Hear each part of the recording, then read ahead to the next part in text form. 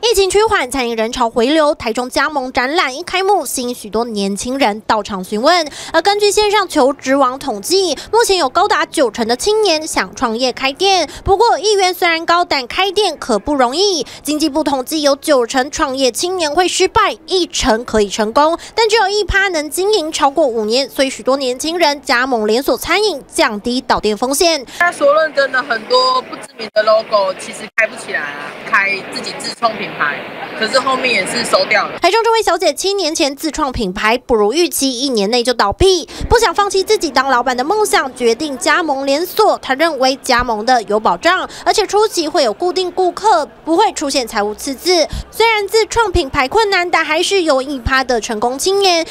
台中这位邓老板经营冰品店，稳定发展超过七年。一开始从不知名的小店跃升 IGFB 热门完美冰店，一步一脚印走出自己的品牌。